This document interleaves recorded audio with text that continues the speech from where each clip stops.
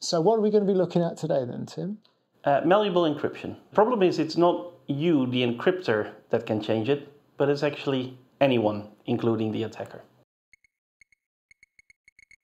Malleable encryption, on the face of it, is a bad thing, right? Um, I'm going to go through some examples of malleable encryption, um, and, and, you can imagine why an attacker might want to do it.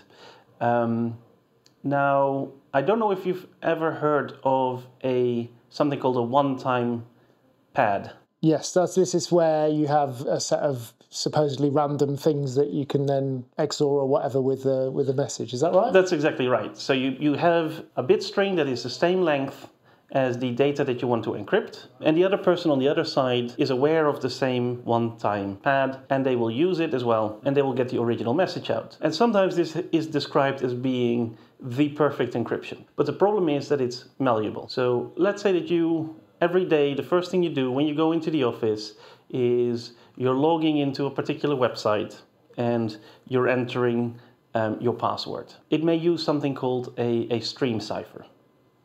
Um, and a stream cipher um, uses a, a pseudo-random bit string um, for one-time pad.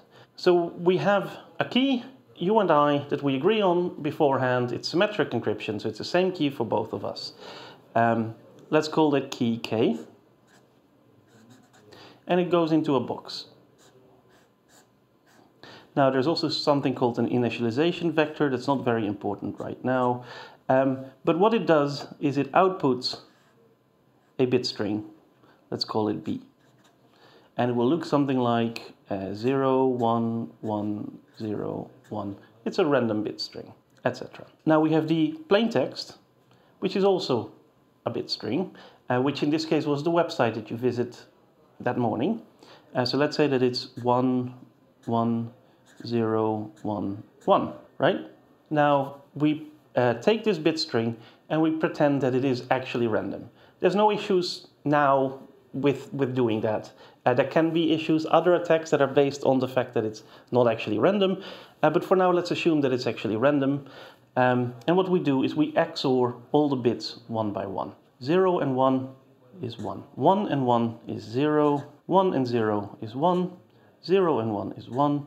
1 and 1 again is 0. And we keep doing that for the entire string. Now you get your website, you enter your password, and on the website there will be a field somewhere that tells you where the data is sent, right? You're sending your password to a particular location, uh, but I'm the attacker and I want the, your password. So if I can change that value, the location where you're sending it, which is just a part of the web page, I win. So let's say that you want to send it to your bank. Um, who are you banking with? Uh, Santander. Santander. Well, I created a fake website called Salamander. And if I can get you to submit your password to Salamander instead of Santander, mm-hmm. I win, right? So then I know what the website should look like, and somewhere in there there will be like a form with a submit field. So let's say that it's just two bits different, right? I, I was cheeky, I just made sure that it was two bits different. All I need to do is flip those two bits. I know what the web page looks like and I know what the location of that bit is. If I can intercept the ciphertext, so this is the plain text, M, this is the bit string that we use to encrypt, and this is the resulting ciphertext. Now, let's say that it is this bit that I want to alter in the message, and I want to change it from a 1 to a 0, right? If I flip this bit to a 0, and I send it to you, you will then take the ciphertext, which is the altered ciphertext, which is 1, 0, 1, 0, 0, right? This 1 has been changed into a 0. So let's call that C prime, the change ciphertext. And you will take the bit string you computed, which is 0, 1, 1, 0, 1. I can't change that because I don't know the key and I don't know the initialization vector. So that remains the same. But when you XOR these two things, you will get the changed message, the modified message, which will be 1, 1, 0, uh, 0, 1. And as you can see, the resulting message m prime differs in exactly the bit that we have swapped in the ciphertext. So flipping that ciphertext bit actually flips the message the bit. message bit. Okay. Um, so if I know the location, I can change it. Now the beauty here is that the attacker at no point is able to decrypt any of the messages, right? He's not, he doesn't crack the system in that sense, um, but he was still able to break the system, you know, in, a, in the human sense. Um, of course, if I was wrong and that morning you loaded up a totally different page, then my attack is completely useless and I don't even know that my attack failed, right? Uh, other than the fact that you're now not sending your password to my salamander. Um, so that's one example of malleable encryption, and you can see here that this, you know, this is bad. In a future video, I will actually have a use case based on stream ciphers where exactly the same property is actually a good thing. Now, stream ciphers are malleable, uh, but more famously, um, there's a class of malleable encryption where it's actually really, really useful. So again, the attacker can still use it to exploit, um, but you can also build more advanced protocols on the basis of it. Uh, that's known as homomorphic encryption. RSA is one example of homomorphic encryption. I'm not going to explain the basics of RSA again. I invite you to watch that video. In short, it's asymmetric encryption, which means that there's a different key for encrypting as there is for decrypting. Now, we typically call the public key E and the private key D, and there's also a modulus N, which everyone knows, just like the public key. Now, if I want to uh, encrypt a message, I can take M to the power E, and then the person that owns a private key D, they have the ability of decrypting it by simply taking the ciphertext that they received, so let's call it C is M to the E. So they take C and they raise it to the power D, so they get M to the power E to the power D, which is equal to M to the power E D. And then, and this was the special magic property of RSA, this is equivalent to M mod N. So in other words, if you send me m to the power e, this is actually also modulo n. Uh, if you send me m to the power e mod n, and I take that value and I raise it to the power d, I get the original value back, and I'm the only person in the whole world who knows d, so I'm the only one who can decrypt it. Now, RSA is, is malleable. Um, so let's say that you're trying to send me a particular value. Um, for example, you're bidding on an object that you want to buy, right? Um, and you're bidding, let's say, 13 pounds. Now, what a malicious user might want to do is they say, I'm desperate to win this auction. So I'm going to take whatever value was sent in and I'm going to double it. Um, so they cannot decrypt the value, just like they couldn't decrypt the stream cipher, but they can still double it without knowing what they're doing. And this is what they need to do, right? You're sending me the number 13 to the power e, mod n. You want to send in 26 to the power e. So you need to multiply this by 2 to the power e. e being a public value, so you can just compute to the, to the power e. And of course, this is equal to 26 to the power e. And if I raise the value that you send into the power d, what I get is 26 right? So you were able to modify the bit by multiplying it with a specific value. In this case, this was bad because it allowed someone to cheat, right? So attackers can use malleability, uh, but it actually can also be very useful. So in this case, um, what an attacker, but not just attackers actually, anyone is able to do is to multiply two ciphertexts together, right? Um, so we had the ciphertext 13 and we had the ciphertext 2, and we were able to multiply these to get 26.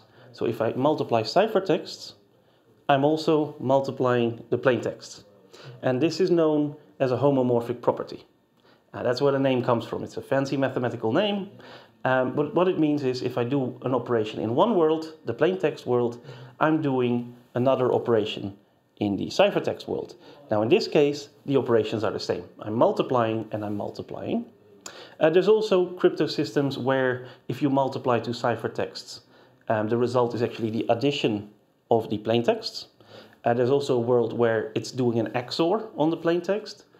Um, and most of the sort of simple homomorphic schemes only have one operation that they support. In this case, it's multiplication, and in some other case, it's addition. Those are the typical ones. Um, There is also fully homomorphic encryption, which I'm not going to go into details with. That's really computationally expensive, but it can do addition and multiplication, or and and or, for example. So what can we use this for? We've got multiplicative homomorphic encryption. We can multiply ciphertexts. Now, I would like to convince you that multiplication and addition are actually kind of the same. So if I have a ciphertext, some random number, let's call it g, and I raise it to a power of a chosen number, give me a number. Uh, 42. 42. And I multiply that with g to the power of yet another number. 12. 12. If I multiply these two numbers together, what I get is g to the power 42 plus 12, 54. Now, that means that we can translate multiplication into addition. Now, a little bit of a warning here, uh, because if you're trying to figure out uh, g to the power x for a general value of x, that's computationally hard. That's the whole basis of, uh, of encryption here, right? Um, we cannot reverse engineer uh, the logarithm of any number. But if the base is very, very small, 54 for a computer is very small, what I can do is I can compute the first 100 exponents of g. g to the power 0, g to the power 1, I just compute them all, and I have a table of all the values. And now you give me g to the power 54, I can look it up and I know, ah, so the number is 54, right? So I never did a logarithm, I just tried all of them. Let's say that we have a little election. There's, let's say, 100 people, and they either vote yes or they vote no. Now, what we want to do is we want to be able to tally up the votes at the very end, and I don't want anyone to be able to see any individual vote. Mm-hmm. Um, so that means that uh, we make the following agreement. There's two possible messages. Um, either you vote yes, in which case you take the message g to the power 1, or you vote no and you send g to the power 0, now I'm going to use RSA here for homomorphic encryption, and viewers that are paying attention might notice a problem with me doing so. Uh, this scheme doesn't actually work with RSA, so the homomorphic bit, which I'm about to explain, does work, but it's not secure. Um, see if you can figure out why it's not secure. Um, and I'll get back to it at the end. So you've got 100 people voting, so all of them agree to encrypt their value. So they take uh, either g to the power 1 to the power e, encrypted, or they take g to the power 0 to the power e. What you can do is you can take all 100 votes and you multiply them with each other, right? So we get a big computation like this. g to the power 0 to the power e times g to the power 1 to the power e times, let's say, another yes vote, g to the power 1 to the power e, etc. Now you can just do this multiplication, and what you will end up with is g to the power, however many people voted yes, let's say 61 people voted yes, to the power e. And now a central authority who knows the key d can take that number and raise it to the dth power, which is decrypting it. And what they will see is g to the power 61, which they will look up in their table, and they will recognize this corresponds to 61 yes votes. And that's, I would say, the, the, a killer example of what homomorphic encryption can do.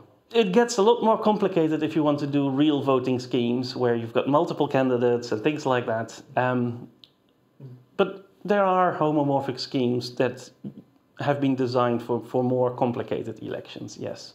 To get back to the original thing I said, um, it doesn't actually work for RSA. Not because what I just showed you is not true, because it is, it, it works, it's functional, but it's not uh, confidential. Because if you vote zero, anyone can recognize g to the power zero to the power e. It will always be the same value there's only two possible values that you could be sending, g to the power 0 to the power e, or g to the power 1 to the power e.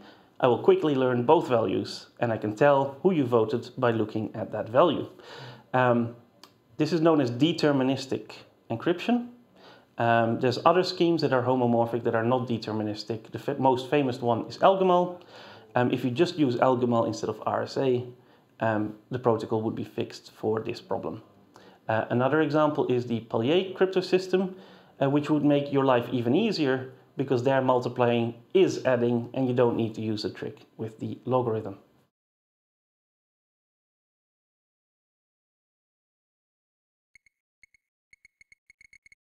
And they both want to attack this city here. And they know if they attack together, they win. If only one of them attacks and the other one hasn't got a message, they lose. They're free to send messages, but the